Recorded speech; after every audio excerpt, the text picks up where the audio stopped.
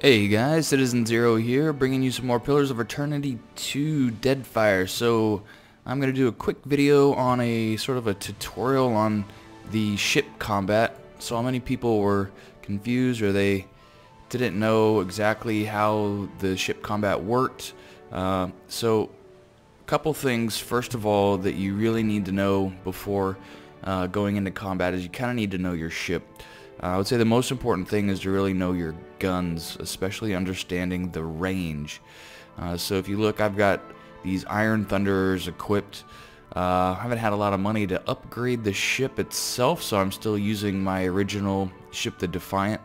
Uh, there are a number of ships that you can uh, purchase that are bigger. They have different number of crew and thing like that. Things like that. You can upgrade your helm, your armor, your hull, your sails. I did pick up an extra, a different sail from one of the combat uh, ships that I've taken. When you when you beat somebody, you get their uh, their flag or their colors here, and that is what you'll use uh, to turn in bounties or proof that you've killed those certain people for bounties. You can equip different colors, so if you uh, don't want to be attacked by a certain faction, uh, you can fly uh, the different colors and it will uh, sort of keep that faction from attacking you. Or if you know you're in a particular place that has some difficult ships the, that you can't really quite take at the moment you can you can equip these. Uh, but like I said the the most important thing for that um, that combat is understanding your your range on your cannons uh, as well as the amount of time it takes to reload. Alright, so this is at a 200 to 500 meter range, so that's about how far I want to keep the ship away when I'm attacking. Alright, so we're gonna we're gonna try to attack these guys. They won't run away from me here. Attack. If I can attack these merchants,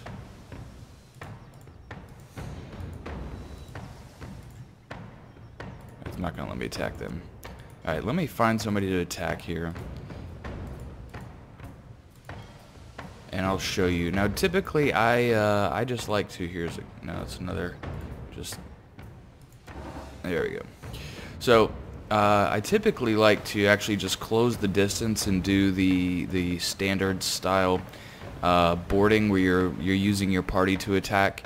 Uh, so if you do that, you just close the board, um, you'll take some damage. Hopefully your ship will be able to take it, your sails, your hull, and your crew. You will end up with some injuries probably on this, which is why if you saw on my ship there was a number of my members who were injured.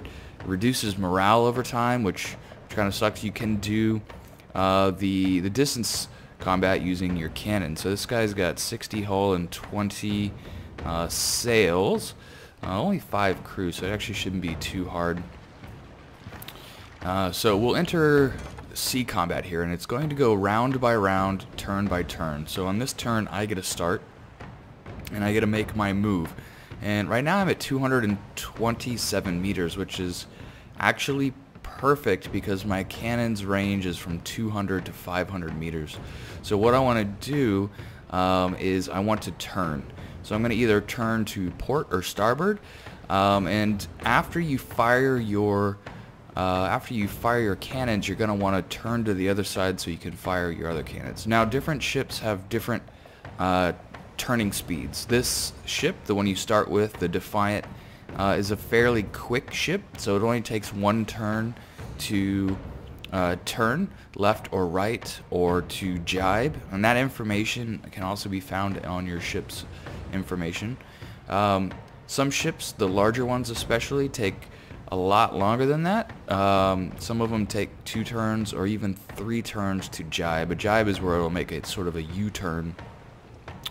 Uh, the position right now, so right now I am lined up uh, straight onto the ship. And what I want to do is I want to line this up to where the ship is either on my uh, my starboard side or my port side here. So we're going to make a turn to starboard. Alright, so now I made a right turn so the ship is on my left, which means my next turn I should be able to fire my cannons on that side. assuming he doesn't move into range or out of range of me. So he's making a turn. He's trying to book it out of there. We're going to fire our port cannons.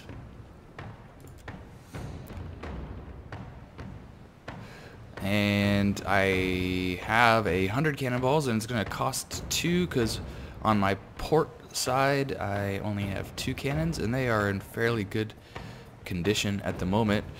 Um, the the cannoneers that I have, ooh, he's injured.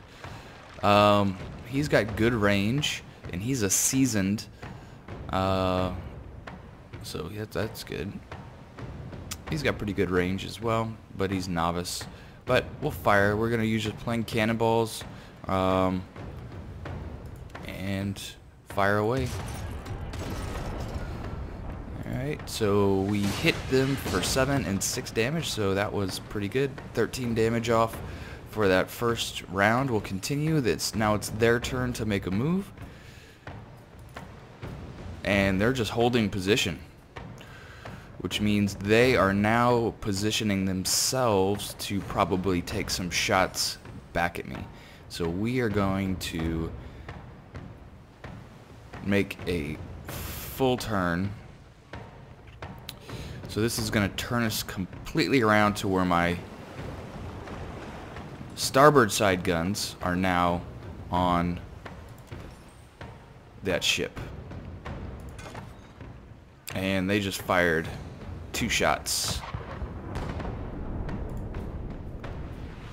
Five and five. So at this rate, I'm going to beat him, but I'm going to take a beating doing it. Alright, so again, we're going to fire our cannons. Uh, and again, not as good on this side. I don't know why we're at 68%. Oh, because the jibe. So, um, because I just made a move, um, so that that jibe, that U-turn move that I made is going to reduce the accuracy. So there's not a great chance, actually, that that will... Um, that will hit. I could probably wait. Wow, it looks like they don't even have starboard cannons.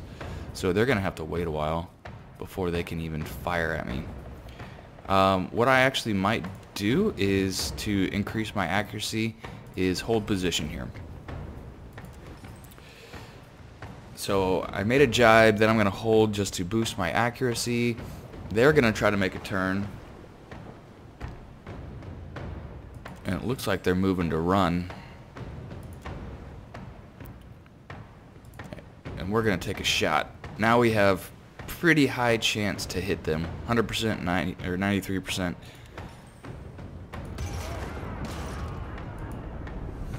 Nine damage to hull and damage their crew.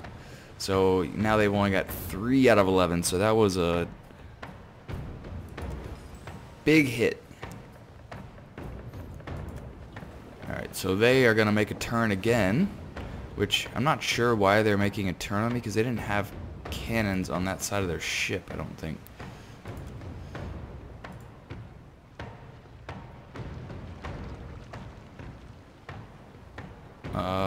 Didn't seem like they had cannons anyways. But, boy, he's got a lot of jobs. Surgeon, cook, deckhand, you do everything, huh? So they've only got three guys. Well, two of their guys are injured. Uh, their two cannoneers are injured, which is not good. Alright, so I am still reloading. Uh, so I'm going to try to make another Yui.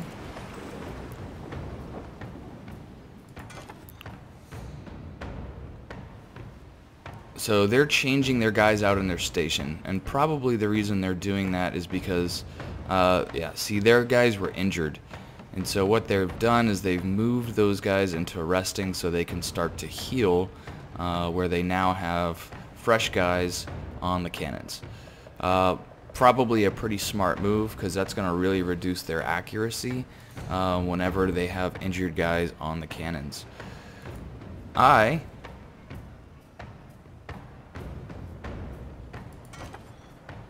probably going to rest one more time um, because, yeah, I just did that jibe move and my accuracy is pretty low. Now, if you're in a mission or in a in a sea battle where you start out, I've started out at some where we're six or seven hundred meters away at the beginning of the uh, of the battle, and you have to you have to close the distance quite a bit uh, before you get in. This one I just happened to start off right within my cannon's range, uh, but that's why it's really important to know your cannon's range um, before you uh, before you start that. Uh, otherwise, um, you won't you won't really know when to fire. You're firing at the wrong time. They might close the distance too close, and it's going to be um, actually not a good thing. Although you can change from cannonballs to chain shot, grape shot. Uh, so what these different uh, ones do, chain shot is usually good for damaging sails. Uh, if you want to damage sails instead of hull, cannonballs are good for uh, damaging hull. Grape shot is usually good for damaging crew. Uh, so depending on what it is you're trying to to take out. So right now, let's see, I could change it to grape shot. See, it's targeting the above deck crew.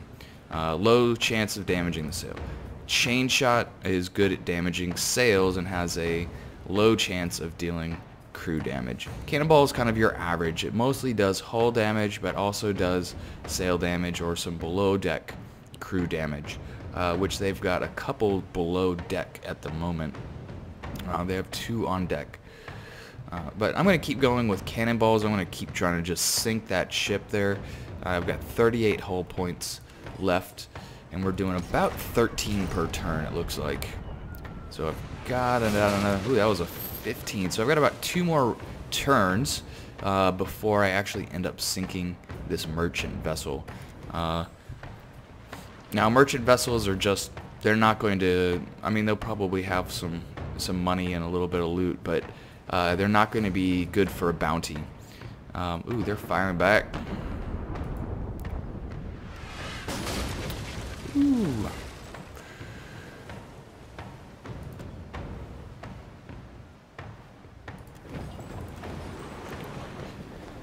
Usually the ones that are named and have uh, a flag or colors like this are the ones that you're going to see that uh, you can hunt down for bounties.